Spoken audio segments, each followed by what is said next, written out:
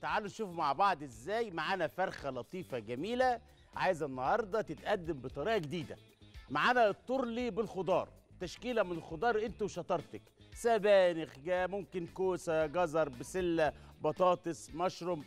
معانا فرخة ومعانا البصل ده أساسي والثوم كزبرة خضراء ونشوف نعمل مع بعض إزاي صينية تورلي أو طاجن التورلي بالفراخ. المقادير على الشاشة في متناول الجميع. ولكن الطعم ده طبعا معانا. تعالوا نشوفوا نعملها مع بعض إزاي. أول حاجة باخد الفرخة دي أقطعها تكفي العيلة والقرايب والحبايب. آه يعني أنت فرخة سليمة حاجة وإنك تقطعيها طبعا دي حاجة تانية. خلي مهم جدا. وإحنا شغالين مع بعض أعلمك إزاي للأمانة يعني إنك أنت ما تقدريش تعتمدي على الراجل بتاع الفراخ انت تقطعها في البيت. سهلة جدا خالص. أهم حاجة معاك سكينة صغيرة كده. بيسموها الجزارين طبعا الكزلك يعني. مش لازم تجيبي سكينة كبيرة وتقطعي الفرخة بالشكل ده كده أهو. ده أنا مش عايز. حلو الكلام وأنا واقف كده. الفراخ بعد ما تتقطع ما تتغسلش. فرخة تتغسل وهي سليمة. ده مهم جدا على فكرة. فرخة تتغسل وهي سليمة. اتقطعت ما انصحكيش تغسليها تغسليها. هتبقى زفرة. اوعى تفتكر انك لما تغسلي الفرخة بعد ما تقطعيها هتشيل الزفارة منها. لا خالص آه حلو. نمسكها كده بالشكل ده كده. أهم حاجة تشيل السلسلة زي الشعرة من العجينة كده. آه. وناخد النص ده. بنقطعه على إيه؟ أربع قطع. يعني يكفوا أربع منابات. ونيجي على الصدر ده كده. تمام. زي الفل يا عم الشيف. سهلة دي. مش محتاجه إنك توديها بقى للراجل بتاع الفراخ يقطعها لك. وسهلة خالص مش محتاجة يعني الواحد يكون عنده قوة ولا عصب ولا أي حاجة خالص. أهم حاجة السكينة تمشي في المفاصل مظبوط. آه. بالشكل ده كده. وإزاي أعمل طاجن تورلي بالفراخ بطريقة جديدة. الفراخ عندي زي الفل. هتبلها تتبيلة سريعة كده مع بعض. بسم الله الرحمن الرحيم. وانت بتتبلي الفراخ دي تحط في الاعتبار. الطاجن التورلي يبقى محرمش شوية. اوعي تغسلي الفراخ بعد ما تقطعيها من فضلك. ما انصحكيش. فص توم حلو. والله الفرخة بقت في الصينية يا شفيق كأنها ديك رومي. ربنا يبارك فيها. بسم الله ما شاء الله. وهي سليمة يعني ممكن نقول دي صغيرة. شوية الملح شوية التوم شوية البهارات الحلوين. معايا صينية على النار طاسة على النار جريل على النار حلة على النار بتسخن. دي أهم حاجة. درجة حرارتها تكون عالية جدا. ليه يا عم الشيف؟ علشان أدي للفراخ دي آه. شفت التحميرة دي؟ فراخ أهي. الشكل ده كده. في الطاسة اللي معانا على النار. معانا فلفل زي ده كده. آه طاجن تورلي يعني حاجة حرشة. مكوناته بتبقى حرشة زي الفل. معنا الصينيه فيها زيت. معلقتين صغيرين كده. عايز الفراخ دي تتحمر بسرعة عشان استفيد بالشوربة بتاعتها عشان الشوربة بتاعتها اللي هتدي للخضار طعم. لأن أنا ما عنديش شوربة ضاني هنا ولا شوربة لحمة. آخد الفراخ زي ما هي كده. الله. الله على الريحة الحلوة. هو ده. زفاره مين يا راجل يا طيب؟ آه. شفت إزاي التحميره دي؟ مطلوبة. آه. تسلم إيدك يا عم الشيف. وأنا شغال كده. اخد الفلفل ده كده.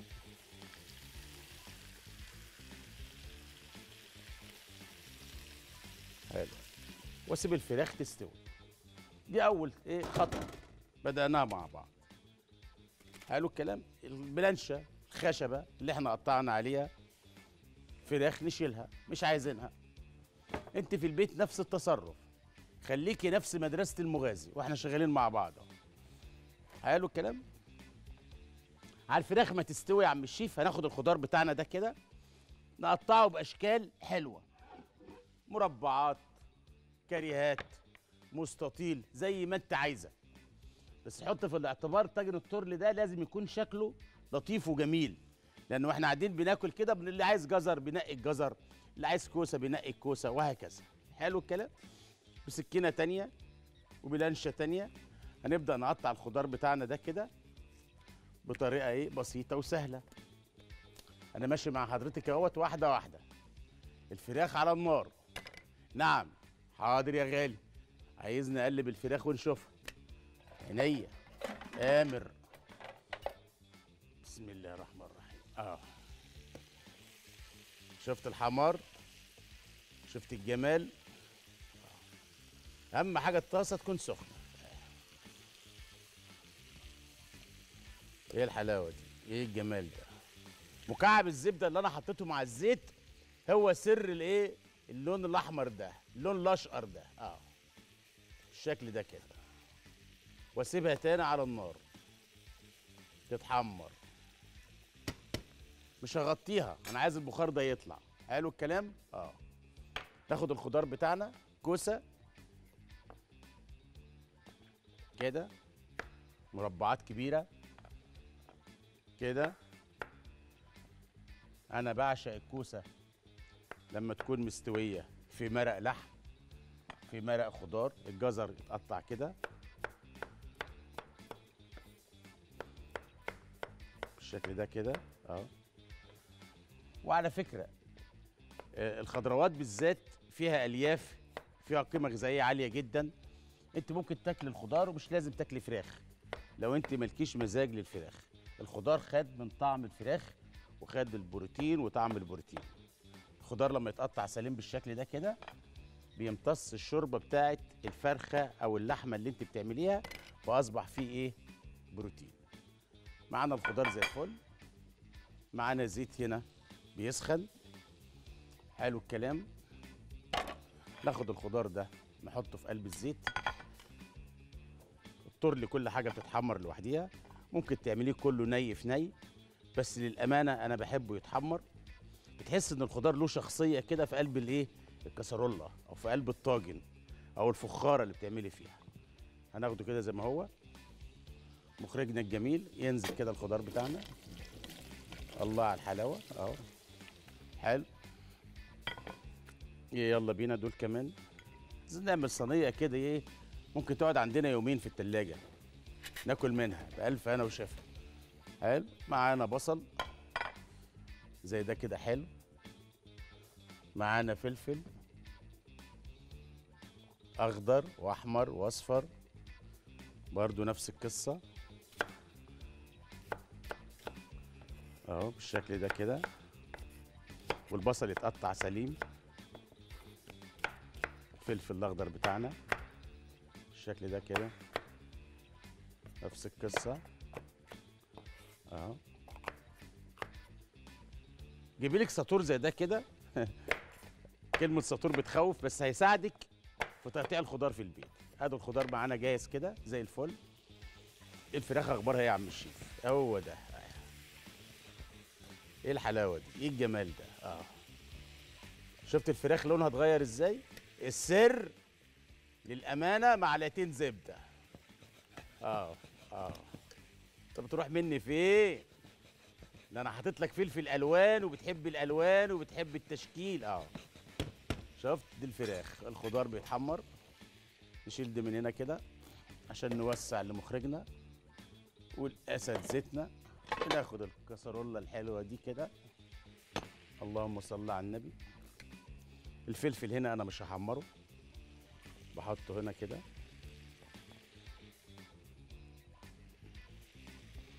حلو. البصل الجميل الحلو ده بحطه مع الفراخ هنا كده. حلو. بنقلبهم كلهم مع بعض تاني.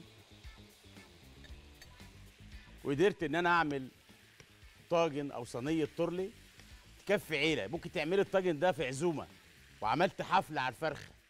أنا عايز أوصل لك رسالة قوية من الخبرة الطهوية وخبرة السنين إنك تقدري بحاجات بسيطة وقليلة تعملي حاجة حلوة قوي. فرخة زي دي كده أهيت خدت تشكيله من الخضار.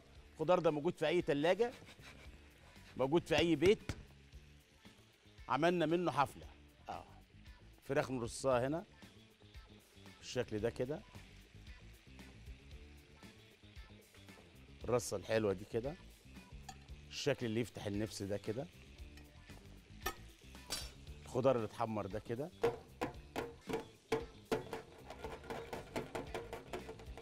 اللهم صل على النبي. ننزل بهنا كده. الله. شفت الشقاوة دي؟ دي شقاوة مطبخ. سموها شقاوة مطبخ. آه. أنا حطيت الخضار هنا ليه مع الفراخ؟ أو مع البقية بتاعت الفراخ عشان ياخد طعم الفراخ قبل ما أحطه في الصينية وأجمعهم كلهم مع بعضيهم. حلو الكلام؟ اللهم صل على النبي. ناخد كده. إيه الحلاوة دي يا شيخ؟ ده أنا بجيب الفرخة دي بقول تكفي مين ولا مين ولا مين؟ عملت لي عليها حفلة يا مغازي. آه. كده جوزك يحبك.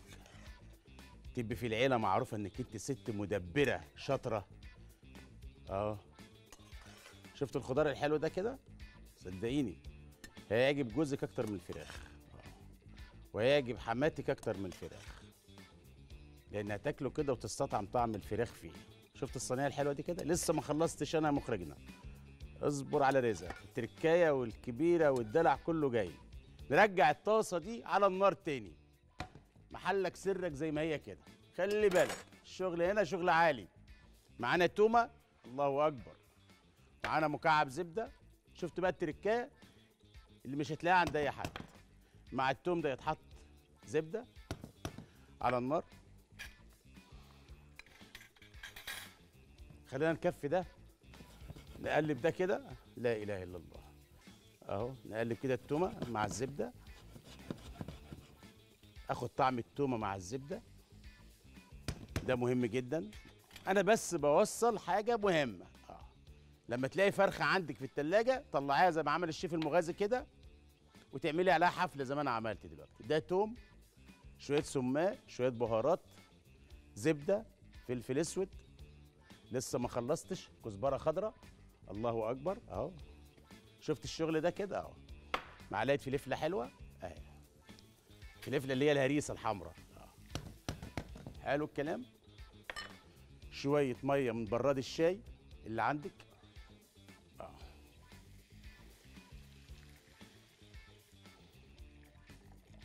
شوية ملح صغيرين عشان نعمل عملية توازن للطعم. وهناخد كل ده يا عم الشيف مغازي. بنحطه على الطاجن بتاعنا وندخله الفرن بالشكل ده كده. اللهم صل على النبي. هي دي التركاية. آه. دي الطشة. دي الخلطة. آه. الله. وأدوب كده. آخد طعم الفراخ مكان التحمير الزبدة القوام الحلاوة الجمال.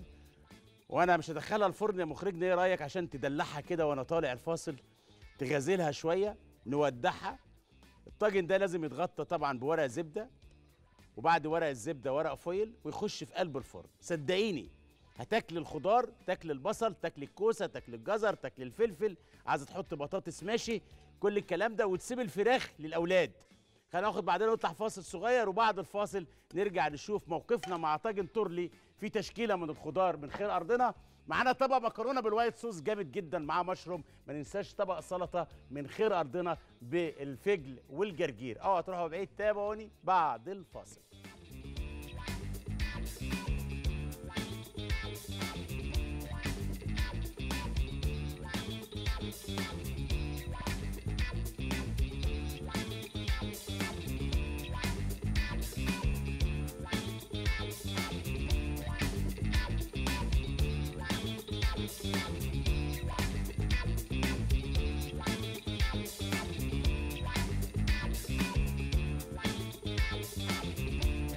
رجعنا لحضراتكم بعد الفاصل. مخرجنا من الفاصل الأولاني عايز يشوف فين الطور اللي راح. بص يا غالي أنا مش حرمك من حاجة. آه. بص أطلعها فين بعد كده يعني؟ أجي بقى عندك في الكنترول. معانا كوسة وفليفلة وبصل وفراخ الطشة والكزبرة. لسه دي هتديها في الفرن شوية. أنا بس حبيت أوريها لك هي وصلت لفين؟ عشان المصداقية والشفافية شعارنا على شاشة القناة الأولى والفضائية المصرية. أنا شلت الفويل وورقة الزبدة في الفاصل وطلعت الصينية أو الطاجن ده على الشبكة من فوق علشان ياخد وش. وحبيت أوريه لحضراتكم. نقفل الفرن. حاضر أطلع لك الفراخ. آه إيه الحلاوة دي؟ صلي على الحبيب قلبك يطيب. تفاصيل كتيرة جوه الطاجن ده. خبرة طهوية جوه الطاجن ده. آه. يا رب يطلع الدبوس في إيدي اللي أنا بحبه. لا طلع ده صدر حتة من الصدر آه لا عشان أدور على الدبوس هتبقى الحاله خلصت. خلي بالك آه طالما أنت عايز الفراخ. تعالوا نقطع الخضار مع بعض وإحنا شغالين كده. اللهم صل على النبي.